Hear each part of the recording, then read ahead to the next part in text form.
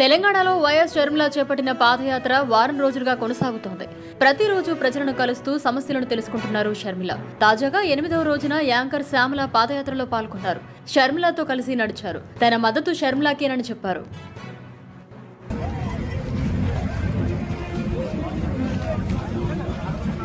good morning madam